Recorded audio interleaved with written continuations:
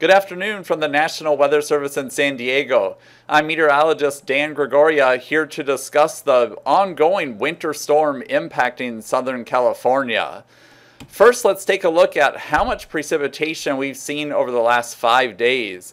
It's been really significant. Check this out. Lytle Creek, almost a foot of rain. And then here's a listing of other selected cities you can see coastal locations two to three, even more inches into the inland valleys. And the precipitation has been a maximum along our coastal mountain slopes. At higher elevations, we've seen significant snowfall here over the past five days. Impressive totals. You see here mountain high ski area, two to three feet and there's a listing here of other significant snowfall. We have places like Arrow Bear, 20 inches, Wrightwood now just coming in at 13 inches. A lot of snow for our mountains, something actually we haven't seen in years here now. So it's significant and it continues to fall. Let's take a look here at satellite imagery. You can see here we're looking at this cold system here now over central California. And all of this cloud cover of the water is indicative of just how cold it is. And we have bands of precipitation that are moving on shore. They have been lessening, and that will continue to be the trend tonight. But the cold air is in place, so we're going to be dealing with uh, snowfall down to lower elevations than we normally see. Here is a model simulation, the American model. There's that cold trough. Another trough dives down here, affecting us Saturday. And then later, we're going to have a break, but later in the week, a trough dives out into the Pacific. That could grab some subtropical moisture spilling into Southern California middle to latter part of next week, and we'll be watching that. So the bottom line is this active weather pattern really shows no signs of abating.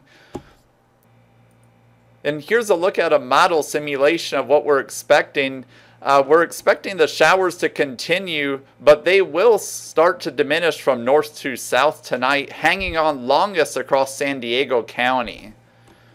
Here's a look at the precipitation we expect.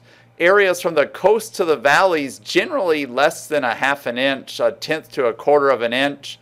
The highest amounts will be along, especially the west facing mountain slopes, where a half to an inch of liquid precipitation is expected.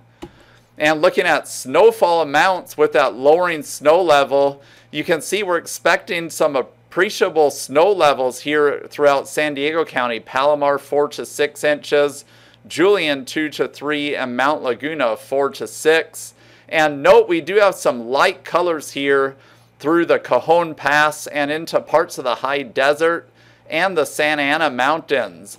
That's with that lowering snow level uh, showers moving over those areas could result in snowfall accumulating on those roadways, affecting the Cajon Pass, I 8 through San Diego County, and potentially even Highway 74 through the Santa Ana Mountains. So, in summary, that cold air is moving south. Precipitation will gradually come, in, come to an end from north to south, but not before delivering snow to elevations as low as 2,000 feet, uh, those mountain passes could be severely impacted.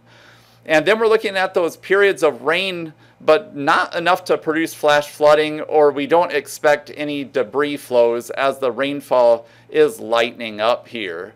And we have a break in the action Wednesday through Friday, and the next storm arrives and looks pretty brief, but we're watching it for Saturday.